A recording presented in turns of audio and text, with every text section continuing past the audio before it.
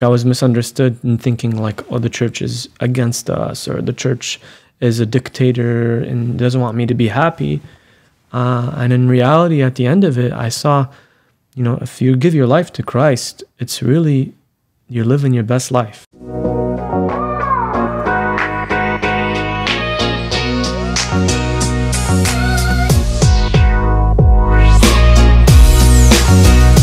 Welcome back to another episode of PPK. Back at it. What's up, boys? What's going on? We, as you as you can tell, have a special guest in the studio. We are joined by a dear priest friend of ours, Father Peter Patros. What's up, everybody? It's uh, it's been a long time coming, uh, but uh, I'm happy to finally be out here. It's honestly like a quick, quick way to get get on here, but uh, I'm happy to finally be on with uh, the goats here. So let's. Uh, we normally start off, Father, with just kind of inspiration. So I'll kick it over to Mix for a quick sec. Uh, well, Father Peter is our, our dear friend and one of the first people that I think me and Keoni looked at, not just as a priest, but actually as someone like a brother, like a friend, someone that we could actually talk to. We don't just see the, the cleric, we don't just see that. We see, you know, so one of the bros.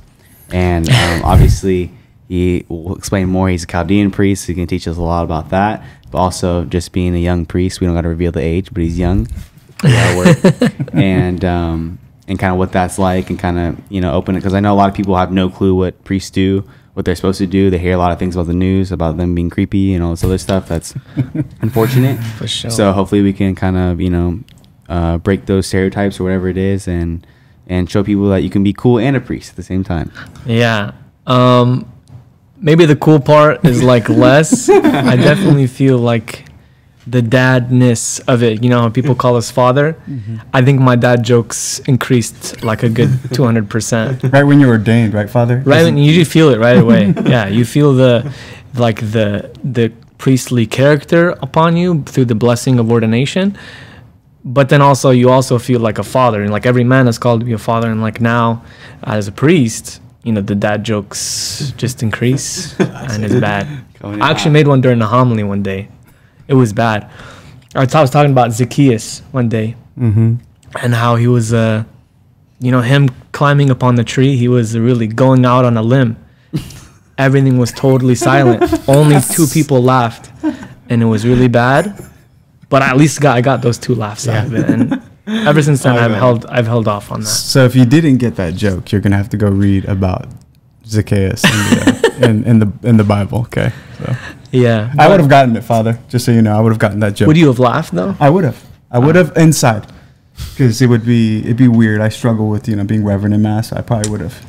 I mean, unless it was like outside of the context of mass. sure right? sure yeah, right, I understand yeah. I, I I see where you're coming from so that's so where we learn from you So we wanted to uh, kind of bring Father on, as, as Miko said, to really kind of uh, understand that our priests are human, right? They're not like once they put the collar on and, and answer such a huge, huge call that all of a sudden um, that, that you just become robots or don't have any feelings or don't have any um, real struggles or don't, you know, appreciate some of the, the things in the secular life, um, like hooping it or something like Yeah. that, right? Or food or whatever it may be, right? Um, and the other thing is, yeah, we don't. I think we're going to do an episode on this, but you don't just because you become Catholic and definitely when you become a priest, you don't just like lose your swag all of a sudden, right? yeah I think you gain some. Isn't there like a chrism for swag? Well, I mean, this is a Catholic, so and I have like blessing crosses and stuff like that. So we definitely the swag uh, does increase. It does. Yeah, Yeah, I would- it's only uphill from here, honestly. Yeah. Yeah. So, so Father, maybe you can. I, I know we've heard um, kind of the longer story of your of your conversion, but just for the viewers out there, because I think Miko brings up a good point. Because most time when they think about priests, uh, maybe they think just like they think about God, right? Like somebody who's like old and outdated and out of touch, out of reality, versus somebody who's uh, a fairly young, a newly ordained priest. So, how long have you been ordained as a priest? So I've been ordained for about a year and a half now. I was ordained uh, December uh, 2018. Uh, so it's been about a year, a good year and over a half. Yeah. And you're from originally from? Yeah, I'm f- I'm originally from uh, San Diego, California. My I was born and raised there. I'm the youngest of uh, six children, and uh, my family is originally from Iraq. All my brothers and sisters were born uh, and raised in Iraq, and um, I'm the youngest that was born here. Um, I was ordained again. I entered seminary when I, I right after high school, and sort of my priestly journey is like exactly what you guys are talking about. Like my original like view of and like view of what a priest was was like this old gray-haired guy that you know maybe smiles maybe once or twice a year when he's like wishing us happy easter or merry christmas. Not really happy though because he sees all these people that he hasn't seen in like a good six months you know what i'm saying? Um, so that was my first interaction and then it wasn't until i met a younger newly ordained priest named father andrew Younan shout out to him um, I just got your book, Father. shameless plug Yeah. actually yeah I his- just got your book, Thoughtful Theism, in my in, in my Amazon delivery today. So yeah thanks to this priest here. You're welcome, Father Andy. Um, but in him, I finally I, I saw a priest that you know number one was making jokes. He likes Marvel and like reads comic comic books, but at the same time, he's like a human, normal human being that loves God and loves bringing people into relationship with Christ and sharing that which you know he has and brings it out to the rest of the world. You know. So um, I thank Father Andy for that because in him, the the priestly vocation that I had, this calling to be a priest, it was really natural. It wasn't this like, oh my gosh, I had this crazy experience where I'm sitting in the chapel and like God speaks to me in the silence, and I I feel this crazy. Um, you know, ecstas- ecstatic moment of God. It was more so like I looked like a kid looks at a firefighter and is inspired to be a firefighter. And then for me, I saw Father Andy and I loved that and feel like through him God sowed the seed of this vocation in me. That's awesome. Um, when, when I think about that that example that you have, and now you're an example for other people, how does it feel now being on the other side? Like with with, I mean, even you think about Keoni and Miko, and maybe f- for other young people that you run into in our community that may feel how you felt, how we just described. How does that feel for you now, being on this side of it? Yeah, um, you know, I don't really think about it too much, you know, because with Father Andy, I don't think he's consciously trying to like Marvel. You know what I mean? He's not con- consciously trying to, you know, be human. You know, he just is who he is, and that, you know, just, you know, it has an effect on people. And for me, like the fact that you know, in the things that I like, I like playing basketball. I like playing video games from time to time. You know, I think this people are just like, what? Like it, it's it's a contradiction. You know, people think if you're a priest, you're like an angel, or if you're a priest, exactly like you're a creep or something like that. That's why I don't keep just a mustache. I just have a beard. You know.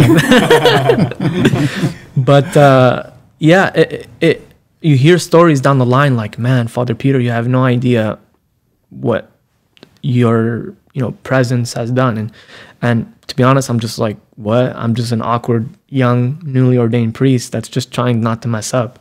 Um, but really, for other people, I think really the the the ordained the the priestly uh, character that you have and your at the moment of your ordination, it really shines forth through you, and God works through it. You know, He works through your your personality and uses that as an instrument to sanctify others. Yeah, I was gonna say. I think I've shouted you out a couple times, Father, in case. Uh, No, I you heard, haven't I heard, it, I heard it. Uh, I've given you a couple shout outs, so now people know they can put a, a, a face to the name. Right. yeah, But um, I think something that Miko and I have experienced that's different than the other priests, because you know, just growing up in the faith, we've had priests over and we've had dinner with them, and we've developed you know a cordial relationship with them. But I think with you, it's been almost like your who you are as a person, like almost shines through the cassock and just hits us right in the face, and we see you as as as more than you know, an ordained priest, that someone we just had to kind of like, hi father, bow down Yeah, respect, yeah, you sure. know. And I think obviously there's there's a place for that, and we obviously the respect is there, but um, I can just text you when I need, you know, when I just need some advice or just ask for your prayers or if you're online and you want to play like 2K or something, like, you know, it's like that, the, I don't know, the dichotomy there, I guess, like the things that you could do, like, let's, you know, let's go play basketball on Saturday. Like that, those things that I think a lot of people don't understand that that's possible with a priest. And, you know, and like the fact that I can in the same day go to confession and get my sins forgiven by the same man who is guarding me on the court Yeah. is something You're that taking is- an L from? Not really. that is Yeah, we were working on yeah, that that I think that's something that um, a lot of people can really benefit from. I think that's just like a hidden gem in our faith. Um, so I, I think that's it's just such a gift to be able to experience that. Yeah, praise God. I mean, I think that's one of the beauty, beautiful parts of the priesthood because you know, in one moment you can be uh, like with Jesus, and you know, the, the the disciples are eating and drinking with him, maybe at one moment, and the other the other moment they see him transfigured. They're like, "What?" Yeah. Not saying that I'm that, but like, uh, on the one moment we're balling and like playing basketball or you know whatever, doing very normal things. And the next moment you know i could be you know doing anointing of the sick for someone or Mm-hmm. doing a baptism or welcoming someone into the church uh, or you know doing confession. Seeing and that heroic and beautiful part of the priesthood that was one of the things that attracted me to it. And um, you know made me aspire and desire the priesthood uh, so much more Yeah, I, I wanted to touch on something because me and Kenny always talk about uh, music, and I know you're a huge music guy, and you talked to us about your um, just your whole conversion, and how much you were embracing music. That's how me and Kenny always been, and especially like the transition from listening to what you always been listening to Yeah. into like okay. I understand that like I shouldn't just listen to foreign whips and chains and women and all this stuff. And you kind of want more, you desire more, even though you know, like, oh man, this still kind of slaps though, like deep in your soul. You're like, dang, I, I don't know if I can let this go. And this album's really good. And so me and Kelly have struggled with that a, a bunch, I think, and just trying to like find ways and find new artists or just kind of be like, you know what, let's just listen to podcasts since we can't figure out who to listen to right now or something like that. And so maybe you can kind of touch on that a little bit. Yeah, actually, through my, it was actually part of my vocation story. Um, when I was, uh, so originally I was in seminary for about a year or so, and then some stuff happened when in seminary, and uh, kind of saw that my weaknesses, my personal weaknesses, were something that you know I couldn't get over, and were actually an obstacle for me to become a priest. One of those, excuse me, one of those was um, my inability to like tell a story or my lack of good speaking. Um, people would know me as the guy that couldn't like tell a story if my life depended on it. Like they'd missed a punchline or I couldn't tell a joke. You know what I mean? So I thought that was a big obstacle for me as a priest. Obviously, every part of your life is to preach and to to to be a part of that in a public way. So for me, it was like I left. I ended up leaving the seminary, and then uh, I ended up like really filling my life with things that weren't of God. So I ended up becoming like a musical disciple. You know what I mean? Where, whereas I would be like studying and like looking into scripture and stuff like that, I was really getting into the culture. You know, trying to be relevant. You know, and because I thought me as a priest, I people wouldn't listen to me because they'd think I'm young and naive. And what does this guy know? He doesn't have any experience in life. Because I was I'm the youngest child and I was sort of sheltered. So a part of that it was uh, it was pretty interesting because I I ended up listening to Logic. I don't know if many of you know him. He actually retired with his last album, No Pressure. um, so I ended up like listening to him. I was I was with him before he came out with his first album, and I was like going up to people, hey, have you listened to Logic? Hey, uh, like people like this like actual apostles like hey have you listened to the to the good word of jesus christ? And i was going up to people like did you hear logic's new young sinatra album? Like did you hear you know what i mean? So um it, it became like that. So i filled my life with this. And it wasn't until like at the season of advent came up and i wanted to like hone in on the voice of god. And i ac- actually ended up fasting from secular music. And only the only music i listened to is either like hymns or you know, something of that nature, or also with silence. And I was I shared a room with my brother, and I was sharing a room with my brother. Uh, he ended up we you talk and like you know how you you have those like late night conversations, and he ended up. I no longer heard his like yeah yeah that's crazy or like oh okay okay. He got silent and I'm like looking over. th- The guy's falling asleep. So I didn't have anyone to talk to because, and I had no music to listen to, and the only way, only person I could talk to was Jesus. And so fasting from that allowed for some silence, and then then I was open to you know the vocation uh, again of the priesthood, where God was like sort of calling me back, and that was the first time and within that year I made an honest prayer of surrender to Jesus. To Jesus. So yeah, That's a that is a journey, right? When you and I think we talked about it before in a couple of different episodes about the uh, the silence, and you know we've been obviously we give some shout outs to Father Peter, especially because the the redirecting to Father Jacques Philippe, we've been bringing him up in a lot of our, our podcasts as well, and maintaining that interior peace. But it's I think it's key for those who are out there, especially a lot of our listeners.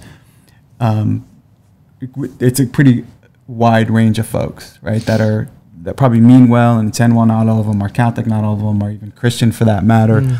Um, but it's what you're saying, Father, is to really carve out that time and detach and disconnect from the world, so you can actually hear the message of God. So some people may feel like they don't. I don't. I don't this God thing. Like I'm intrigued. I'm in. I'm in. I'm enticed by this, but. Uh, I'm not experiencing what you guys are experiencing. Well, maybe there's just too much noise in your life. Yeah, I mean, it got to the point where I was from the car to the shower to the time where I was going to bed. There was no moments where I allowed for like actual, just pl- plain out silence. Not to say that music is bad, you know, music is actually, uh, like in itself, it, it's a good thing. You know, God gives it to us to uplift the soul. Obviously, there's good music and then there's bad music. There's some music that kind of, you know, be good for your soul and uplift your soul, and there's some music that could just, uh, like emphasize and you know bring out in you like aggression type of mm-hmm. thing. Mm-hmm. I don't know. Like there's different opinions and different theories about this, but personally, when I would be out late night driving, like bumping some some like hardcore rap, I would notice okay, 90 miles per hour on the dashboard, and I'm like automatically thinking of that about that person that you know did me wrong, and I'm like, oh man, you know. So it, it, it brought into the brought these things in me that you know I was like, man, this is weird.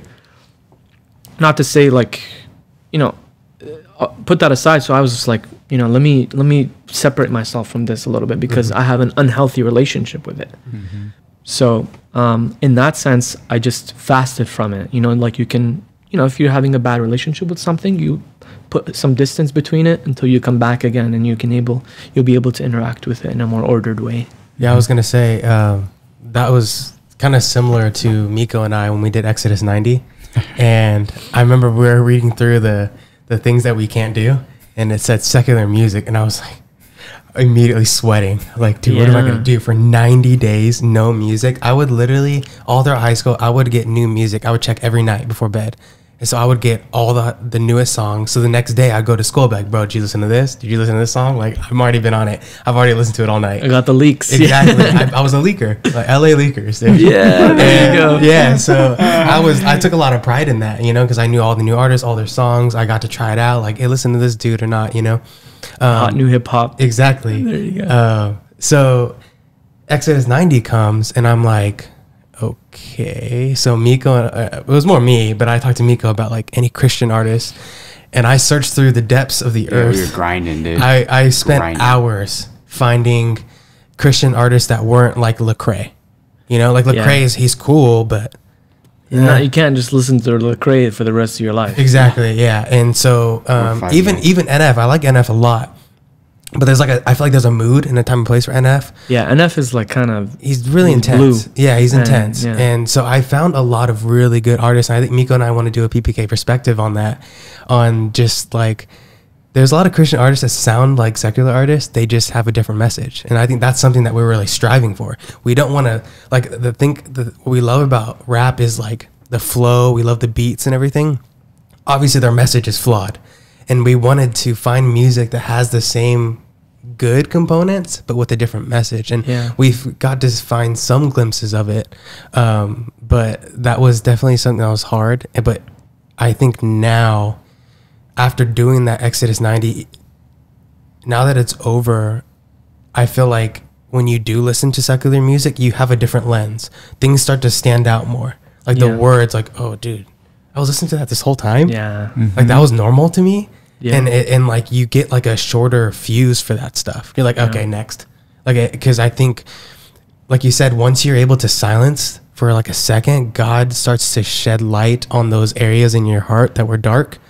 And it, it starts to, he just reveals it to you slowly. And then you're like, Ooh, I should probably change. Um, and I, so I think it start, like you said, that the starting with just kind of fasting from something. And if it's taking too much of a, a point in your life, just to let go for a little bit and he'll start to like work. Yeah, I mean, because really, you don't really understand it. I mean, in, in in the beginning, I was like, man, this is like fasting from this. Like that's messed up. Like, why would you do that? Like, I listen to it, but I don't believe in it. You Yeah. know, what I mean, I like I just like the flow. I like the, I like the beat. But like, if it's in your face, you don't realize like everything that's going on. It's, it's not until like you take a step back and you see the whole thing Right.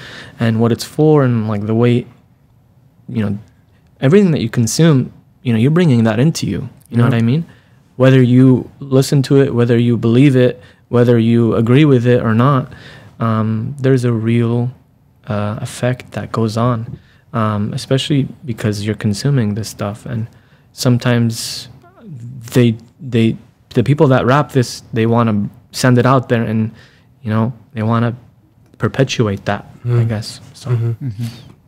Do you have something to say, Mix? Uh, yeah, I think the silence thing is huge because I I DoorDash, so I'd be trying to listen to podcasts stuff like that, and then sometimes I just like you know I tell myself you know why can't you just sit here and not look at your phone, just wait for your food like a normal human being, and not have to distract yourself, and just sit there and be there. And I think that's such a thing. That's just key thing that I'm trying to learn, like just silence and stuff like that. Because I'll be in my bed, I'm always like watching YouTube until I fall asleep. I'm just like, dude, stop watching YouTube. Like, be a man, step up, take control, take control of yourself, and just lay there. You just lay there. How about that? You know, 'Cause my mind's always going. I'm trying to distract myself, but I'm obviously like, that's just kind of what we grew up in, and I've, I've had an iPhone for I don't know how many years, and all this kind of stuff. But I think that's so key because it's like you can learn so much in those moments and those times where you can like almost like reflect without having you know being the child or something like that because that's what you're doing basically. Your mind's just running when you're not i'm just looking at people just thinking all these certain things.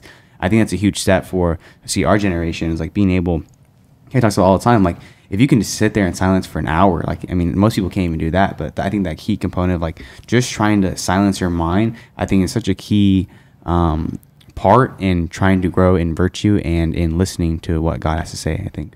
For sure yeah So um, I wanted to talk a little bit about, you know, you said you're from uh, family, heritage, right, is from Iraq. Um, and we're all Catholic in this room. And one of the things that we wanted to bring up is the, you know, as we try to educate uh, our listeners on faith in general, but definitely the Catholic Church, right, to dispel some. We've done stuff on the true presence. We've done, um, you know, podcasts on what it means to be priest, prophet, king as baptized Christians. Um, so it's kind of cool that we got a priest sitting here next to us.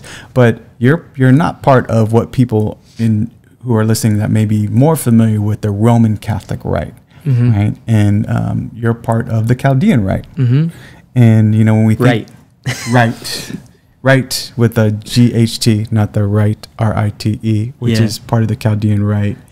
But I'm right when I say that he's part of that right. correct You with me? you guys you paying attention or what? Uh, so a lot of people are like, "What are you talking about?" Right? Yeah. Um, Eastern Church, Western Church. Um, sometimes we even get rites and churches mixed up. So we just say, "Oh yeah, there's 23 or 24 different rites," when really there's only six rites, but 24 churches are part of those different rites. So Sure, yeah. we don't want to get too complicated there. of course yeah Um, but maybe you can kind of break that down because even though you're just south of us, or you grew up just south of us in SoCal, we're in NorCal, um, you know, culturally, heritage wise, and even your experience with the Catholic faith obviously was a little bit different.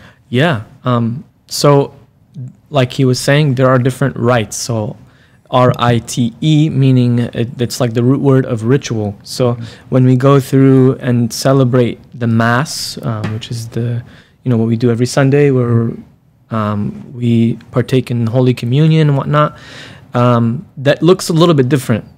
The substance and everything is the same. The Chaldean Catholic Rite, we believe the same things. We we are one in communion, and we run in faith. We're one in everything that we believe. We're one that we like. We're under the jurisdiction of the Pope, who is the uh, the visual head of the church. Um, however, we eh, we're like a different flavor of Catholicism, I guess you could say. Whereas uh, in the Latin rite or the Roman rite, you you know things look in a certain way. You pray in Latin, that's like the liturgical language, or sometimes it's translated in English or Spanish or according to the local country or the local place or language that they speak. Whereas in the Chaldean Catholic rite, um, we find our origins um, where St. Thomas, the apostle, he uh, received the gospel from Jesus Christ and he was called to preach to the four corners of the earth. St. Thomas made it to Mesopotamia, um, which, if you're not familiar with Mesopotamia, it's modern day Turkey, Syria, Iraq, and a little bit of Iran, I guess you could say, the land between the two rivers. That's what it's called. Um, and he ended up there with um, arguably uh, this one of the saints named Mar Addai, Saint Addai, and Saint Mari. Um, Saint Addai is thought to be like Jude Thaddeus, one of the 72. So Addai, Thaddeus, Th- uh, Thaddeus, I guess you could say. Um, and th- the seed of the gospel was sown in that land. But the way it grew, the way it blossomed was a little bit different. The way it blossoms in the West is a little bit different. Um, but the seed is the same. Uh, the faith is the same. Um, we have the seven sacraments. We are a sacramental church. Some people, when they come to our our our mass, they're like, "I'm Latin, right? Catholic. Is it okay if I receive the Eucharist here?" Like, and then we're like, "We're Catholic. Like, what are you talking about?" um, but our liturgical language is Aramaic, which is the language Jesus spoke. Um, so some people they say, "Yeah, we speak Jesus' language." But then if you ask like one of our hardcore priests, uh, Father Michael Bazzi, shout out to him, he says Jesus spoke our language, you know. so um, yeah, our languages and our liturgy is in Aramaic. Um, even though sometimes, like in Iraq, sometimes it's translated to Arabic, to for people to understand. Uh, you know, that's the the the national language. Um, in America, we we translate it into English, um, and maybe in other countries where we are. I actually have cousins in um, when we when they left Iraq because of persecution. I they left wherever they wherever the place that would accept them. So they would go to Canada. I have cousins in Canada. I have cousins in Michigan. I have cousins in Australia. I have cousins in Germany. Uh, so I have cousins all around the world. So the Chaldean Catholic Rite used to be like to a particular region. However, Thomas kept going. He kept going all the way to India. And so you'll see our church present in India now, where we we we pray. We have the same prayers and we have the same flavor of our rite of Catholicism, but um, you know it's done in in India, which is the Syro Malabar Church. Um, actually, we have like remnants and like historical uh, uh, artifacts in China. So our missionaries went all the way to China Wow. we're known as the persecuted church. Um, and even till this day, um, from the moment of our uh, conception and when we were, when the church was founded in our place, in, in our land, we never stopped seeing persecution. And even until this day, we have modern day martyrs. Um, you know, I have lists of martyrs that uh, have died for the faith even today. So I visited about two years ago, and uh, I mean January of 2019, and I visited in uh, July of 2018 before I became a priest.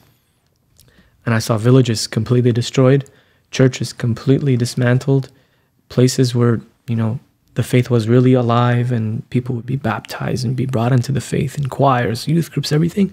In a matter of one day, because of the extreme nature of the, the terrorist organizations that were working, they completely completely dismantle and attempts of erasing history were were at work. Mm-hmm. But as we are, you know, we're, we're people of the resurrection, so our people are returning to their villages slowly, and some have left and some have sought, you know, freedom elsewhere. But um, churches are restored and, and are being um, renovated and brought back to life. No, I think that's one of the things I know I, I personally try to share um, that's close to my heart is just the, the, the martyrs of our faith, right? I mean, uh, here we are in America and we have, you know, first world problems. Yeah. Um, you know, we were talking about it Yeah, too, yeah. Uh, the, the other day about, you know, and, and I think we need to be concerned with the attacks on Christianity for the first time in our um, American history. We're in a post Christian era, right? We were founded on Christian values and principles. And, um, but the, a lot of our brothers and sisters, you know, I think about the Middle East. I think about China, right, in particular, that are um, Lebanon, even right now. yeah, Lebanon right now, what they're going through, um, and you just you know it puts things in perspective. Yeah. Right. For somebody to live their faith in Iraq is a lot different than us, you know, walking out the door and saying like even us having a podcast right now. Yeah. And talk calling it Priest Prophet King, bringing a priest, you know, and walking around in cassocks and clerics and all of that is so different in the places where our brothers and sisters are persecuted and you, we should never stop praying um, for our fellow brothers and sisters that um, honestly are are living out of faith that we take for granted every day. Yeah, and I think um sort of what brings what, you, what piggybacking of what you were saying is, uh, I remember seeing a tweet from Father Andy Younan. I mean, he came he came to our mind twice in a row. Um, you could see how his influence is uh, pretty pretty big. Uh, he was saying like, if you know a church is vandalized in America, and people responding saying it's the end of the world, you know, and then complete villages and cities are destroyed, uh, and Christians are are being massacred and uh, killed, and then you know they just get back up again, and they're just living out their faith. You know, They rebuild. they rebuild. So like, we've been seeing this for two thousand years, and we're just trying to like make it back.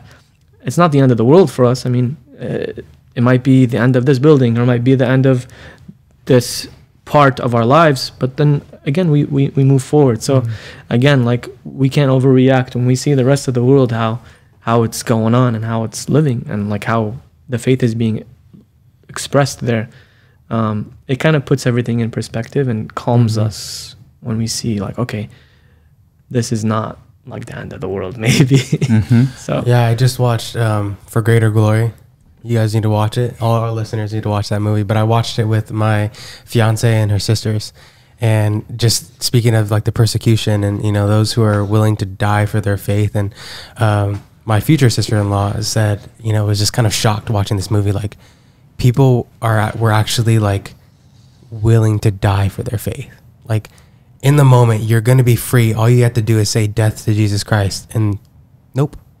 The, Yeah. the 12 year old that even you know if that, you don't mean it. Exactly. Even if you don't mean it, it's okay just, just say it. And they're like nope and i want to die. And it, that idea i think that's so foreign to us in the us that that faith that you're ready to die for. I think we have a faith that we're ready to post for that maybe we can make swaggy hats a, a faith that will make a lot of money for us. But a faith that we're willing to actually die for and be alone at the end is like so foreign to the united states. And i think that's so important to understand like around the world we are we're being persecuted and i think we're so blessed to be catholic in the united states and we take so many things in this country for granted that like we have a duty to spread and defend it even more so because there's people who don't have that opportunity elsewhere. And another point i wanted to bring up too is you know you're talking about the different rites and you know we have different flavors. And i think that's the beautiful thing about the catholic church but we're still under the same jurisdiction we still follow the vicar of christ the pope mm-hmm. which is where i think it gets lost in our protestant brothers and sisters who have their own flavors their own whatever they want but there is no there's nothing tying them together and it mm-hmm. becomes chaos. Mm-hmm. Right? and it becomes disordered because now you have 30,000 plus churches that yes have their own flavor yes do their own thing but who's bringing them together? Where's the unity? And and you know Jesus is bringing he he wanted his church to be universal to be uh, united right and to be one as he's one. Um, and so I just I was thinking about the different rites and how what a blessing it is to have those different cultures within the rite but still following um, the teachings of the church still following the jurisdiction.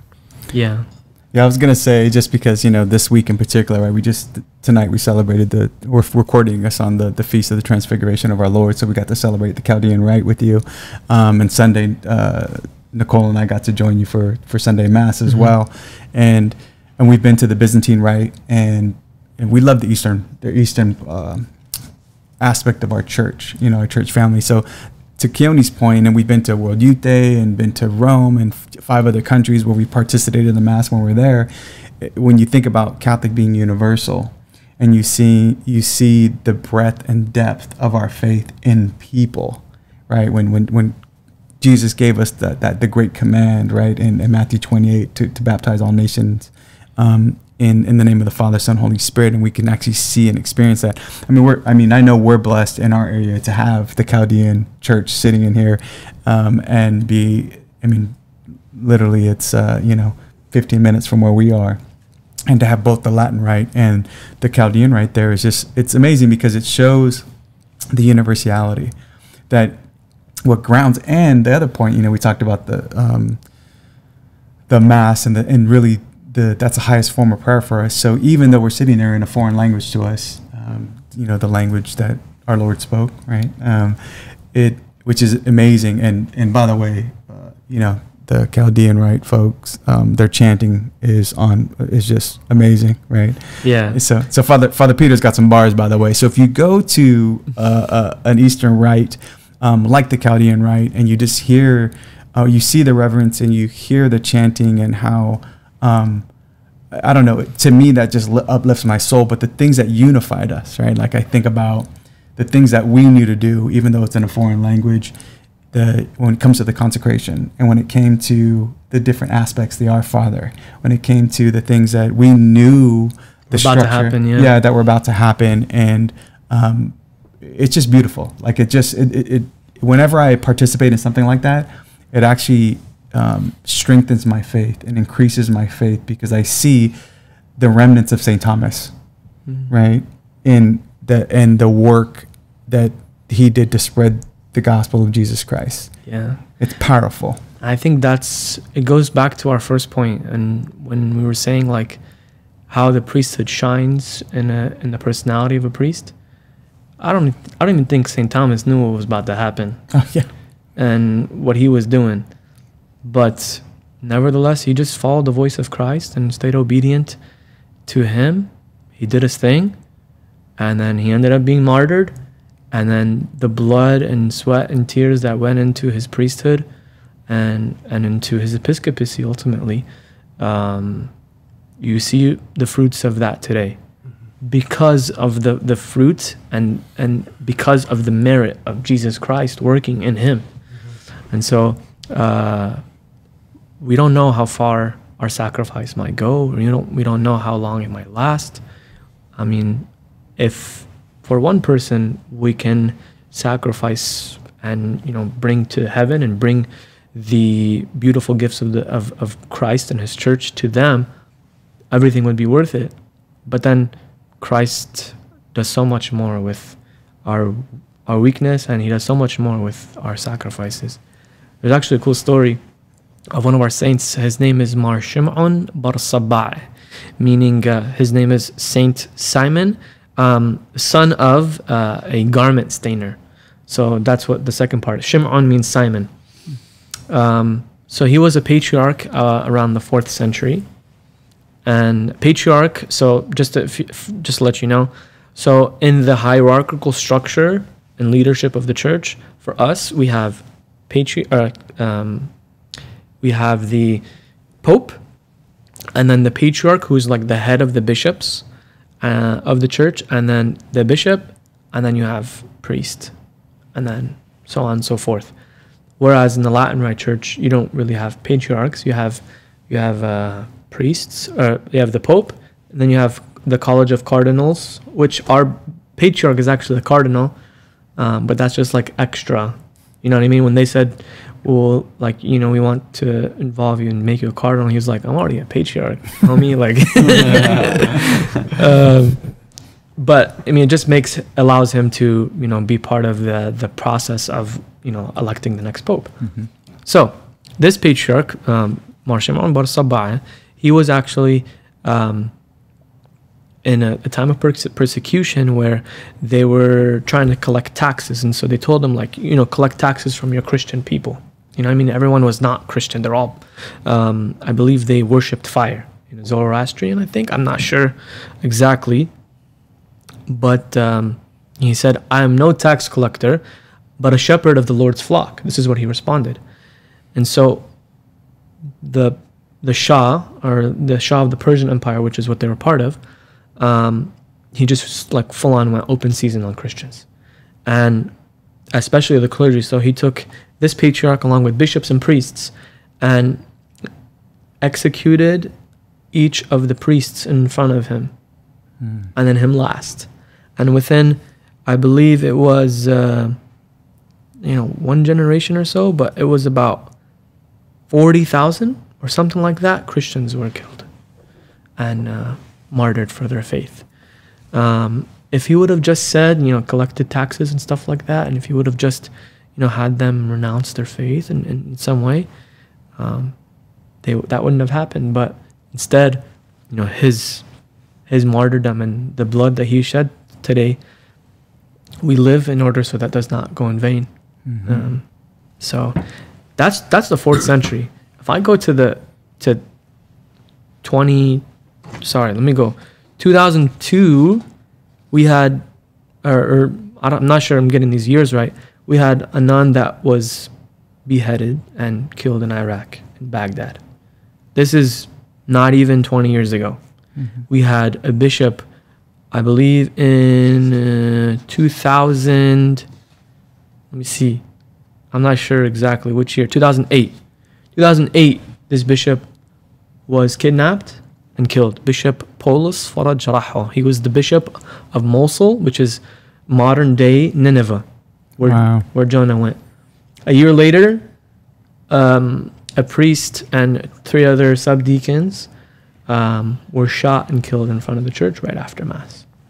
And uh, actually, um, that priest, Father Ragheed Ganni, um, his cause of canonization has started. Oh, wow. So, like, um, finally, you know, it, we know he's a martyr, but the official representation in the Universal Church has begun. So, Yeah. Yeah, it's pretty powerful. I think just for the the listeners out there, especially when you think about the word martyr, right? Somebody who dies for the faith. In Greek, it's witness, right? Same thing in our language. In Aramaic, it's sahada, so it means to witness something, but it also means to die Uh, for Christ. and and ultimately, if you are witnessing for the faith, uh, you you will pay that price, right? And and Mhm. some some will say we in the church will you hear about white martyrdom or red martyrdom. And what Father just described was red martyrdom, right? They died for their faith, and white martyrdom is what we may be experiencing when you know we put ourselves out there as faithful Catholics, and people you know snub us or attack us, and you know go ahead home Kill our yeah, try to go after our soul or our, our, our um, you know, whatever it may be um, publicly, but we're not dying for that faith. Mhm. So, Father, just as you know, we tried. Did you have something to say? Mitch? Yeah, I got Okay. a couple of things. Go ahead. I was thinking, um, one, a little bit about what's happening in America, but two, I was just thinking about when you're talking about feeling the remnants of uh, St. Thomas in the Mass, or you know, when we discuss Latin, just feeling the, the faith of our fathers, the Yeah. faith of Jesus Christ, when you feel that. And I don't want to feel the faith of Chris Tomlin in Hillsong when I'm in Mass. You know, I don't want to hear, I don't want to hear oceans because that's not, that's not what we are founded on. That, that kind of idea. Something we talk about so much is like, that's the reason why that mass is so important and why losing it or it not being practiced as much as it should be is so detrimental to our faith and it's it's it's hurting because it's like here we have i mean if you listen to um you know the chaldean or i was listening to i watched a video of um in lebanon a priest offering mass while the the bomb went off but just hearing their chants and just understand that that difference in your heart that you can feel Oh, yeah. for that three seconds that i heard it rather than uh, you know, brother Mike on the guitar playing Oceans. It's just such a different experience that we deeply need in our, in today, and to feel something different that we talk about all the time. But I thought that was a good thing to point out, and also the um, almost like blind, very philosophical persecution that we've had of Christianity in America, of just um, years of philosophy kind of taking out God, this very uh, modernist approach of everyone has the same kind of religion. That's that's that's what you want to do. I think Biden just said we need to learn more about Islam and in our uh, schools, and just this slow kind of thing until it gets to the point where now people are taking out statues, now people are doing this and that, people are checking out parishes, trying to see well what time's going on here, um, you know, uh, defacing some of our some of uh, Our Lady and all this kind of stuff, and it becomes a point of like now we're facing something real, but it's also not so it hasn't been physical in the past. It was so under the radar that we couldn't we couldn't see it right? And so Mm-hmm. it was like you know we have jfk as a representative of what catholic life's supposed to be in america. And just this idea like it seems like it's always been undermined this kind of not understanding what the faith is and taking out public prayer in schools and all this kind of things that we continually kind of did and everyone's just blind to and eventually now we're at the point where we're seeing it full on and they're not hiding anymore and so just realizing those things is like yeah, we should be thankful and more serious about our faith, but also understand where it's lying. And so we need to be able to spot those things out because they're very under the radar. They're very, um, well, no, no, no. Uh, Karl Marx really cares about the people. Does he though? Why does he talk about destroying the nuclear family? What does that have to do with it? With saving the poor people? What does that have to do with it? So those things that we got to be more keen about and understand because it's not just people kidnapping for ransom. It's not people doing those kind of things. They're doing it more sly. So at the point where you know some people argue about having um, you know Freemason infiltration, whatever stuff. Those things that are almost more powerful because they're almost tricking the mind and fooling all of us into this point where now it's like uh, a different sort of persecution. You know, the the white martyrdom it is. And so there's two different battles you have going on. You have ones that are you know really dying for it, and this other one where it's a very strong mental game that we have to be prepared for and and battled and tested in different ways and prepare ourselves in different ways. Yeah, or else you wake up to the reality that a lot of our brothers and sisters are, where now you have, you know, a communist country or a dictator that is anti-Christian and anti everything does that we start stand with? for. Yeah, It starts with the same things. You take out prayer, take out all these things, you legalize all these different things that people say, no, man, we're just for the people. These people have their rights too. And then you get to the point where now it's now we see what it really is. Yeah. Now when they're defacing Mary, then we say, oh, okay, that's what it's about. It wasn't about you fighting for this group or this oppression or this and that. It's not, never what it's about. It's always about attacking the faith first. yeah. Get rid of God and get rid of definitely public enemy number one would be the Catholic Church for sure. So, Father, as we kind of wrap this up, um, and we knew we were going to spend a little bit of extra time with you, which is good, and I think good for the listeners to kind of get introduced and to experience, right, the the human side of the priest. Um, do you have any uh, parting words for those that maybe uh, where you were, where you're just kind of searching for, hey, what you know, what's what's life really about? And all of a sudden, here you are in the collar and offering the the, the holy sacrifice of the mass and really giving your life to God to serve His bride, the church, all of us, and we get the benefit from that because you know, with really, if if we're really honest about it, um, even though there's a small percentage of priests in the church, we can't have our faith without the alter Christus, right? Without the the other Christ like Mhm. yourself. So, um, any any encouragement or words of, of advice you want to give to those that may be seeking a vocation? Yeah. I mean, where my vocation, I guess you can say, began was when I wasn't afraid to ask questions, when I wasn't afraid to, um, you know, challenge myself with the things that maybe don't make sense, maybe are hard to understand within the faith. I think it was then that I was able to see beauty. I was able to make it through and see the free the truth of the church and maybe like I was misunderstood in thinking like oh the church is against us or the church is a dictator and doesn't want me to be happy uh, and in reality at the end of it I saw you know if you give your life to Christ it's really you're living your best life Yeah. to be honest because Christ he challenges you you know he doesn't want um, you know if, if the faith was made a little bit easier for us um, then that means the church wouldn't th- think highly of us. St. John Paul II was always known to not water down the faith, um, but rather he he believed in the youth so much that you know they were inspired to take upon all these challenging things of the faith. You know what I mean? Mm-hmm. And so for me, where my vocation began, when I guess my advice for other people um, that are maybe in this situation is that um, if you're if you have questions, if you have certain things that you want to be uh, answered, I mean, you'll find them in the church. If you've had a question, there's a hundred percent chance that someone else has had that same question as you, Mhm. and there definitely is an answer. Um, keep digging, and um, Christ will not let us down. Um, and just make just make it a prayerful thing. Make it something that you're open to. Always be open to Christ, because if you're not open to Him, um, you're missing out on the great glory that's to come. And just like St. Paul says, no eye has seen, nor ear has heard what God has planned for those who love Him. So, just I like uh, I think what's his name? I'm forgetting his name right now.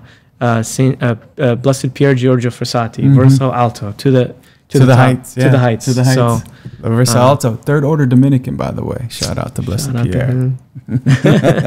so, Father, before I kick it over to Meeks for the, the last the last uh, shout out, can you uh, maybe do a, a prayer, a blessing in the native language? Yeah. Um, why don't we do this? Okay. So we'll do it. Um, I think this is present also in the Latin, right? I mean, it's a universal thing. I'll say it both in Aramaic and in English so that people know what's going on. Yeah. But I'll do this.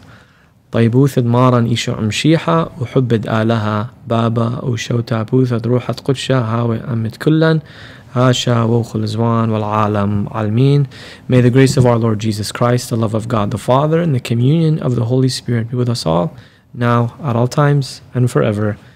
Amen. Amen. Well, thank you, Father. It was a joy. We're gonna have to get you back in the studio again because time flies when you're just having fun talking to your priest friends. So we sure. appreciate you. We appreciate your priesthood, and we appreciate you spending some time educating us and our listeners on, you know, your story, your conversion, and for our Eastern brothers and sisters out there. I also want to thank you guys for having me on here, uh, and thank you for your friendship. And you have definitely, uh, through the fire that you have for Christ, you really inspired me to become uh, that that priest, which is continually on fire, knowing that his priesthood is, uh, you know, is appreciated. And uh, thank you also for your prayers, because I know you guys have countlessly said that you are praying for me, and um, I do see it and I experience it and I feel it when I'm uh, in my life. So thank you for having me, and I thank you to your to these listeners that have been listening for this long of a time. if you made it this far, Yeah, and if you have made it this far, you should be liking and commenting and subscribing. Because you guys aren't doing it, and I see you. I know every one of you that aren't doing it. and uh, go follow our Instagram once again at priest.prophet.king uh, if you really want to help Father Peter in that way too. And we got to give a little bit shout out because Colin did come through again. We got a shout out Christopher. We got more comments. People are stepping Sergio. up. We people are stepping up. man. Colin's So- back isn't hurting as much this week. So so we appreciate it, and again, thanks to Father. And I, I figured if we hung around with you um, long enough, I could probably get a beard game as as sick as you and the rest of uh, our Chaldean Assyrian brothers. keep praying, keep praying. All right. Well, hey, as Miko said, we appreciate you guys joining us, and uh, we just ask that you continue to share, like, comment, subscribe, get it out to everybody you know. Continue to pray for our priests and pray for more vocations to the priesthood. And until we see you on the next episode, get holy or die trying.